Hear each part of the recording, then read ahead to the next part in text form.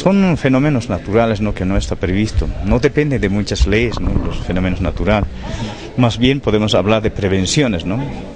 que el Estado, el gobierno, las entes autonómicas podían trabajar en ese sentido. No, no es único el sismo, sino que algunos incendios que ha sufrido en la ciudad de La Paz. Estos temas ¿no? también necesita trabajar. Eh, no simplemente la obligación del gobierno central, eso no comprendemos todavía. Las autonomías tienen que trabajar mucho más, profundizar. Por eso no está yendo tema de autonomías, ¿no? desde gobiernos municipales, gobiernos departamentales. Todo es gobierno central.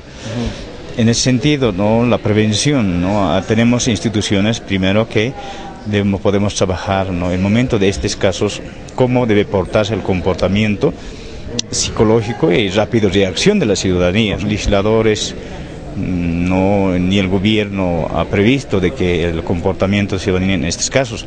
Yo creo que hay que una educación ciudadana a la ciudadanía en ese momento, ¿no? En, qué lugar pueden estar parados o cubijarse, ocultarse, no sé, ¿no? Entonces esta educación falta en caso de sismos. Mira, la ciudad de La Paz por su ubicación geográfica corremos el riesgo de ser más dañados, así que puedo hablar en ese sentido ¿no? porque su ubicación es muy, muy fregada.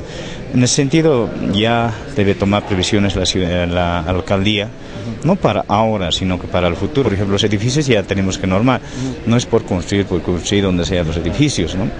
Entonces hay que prever eso, ya debe sacar los, las normas, eso corresponde a la alcaldía. También nosotros no tenemos que reflexionar, también no es todo echar a la alcaldía, ni a la gobernación, ni al gobierno central, todos, todos juntos, ¿no?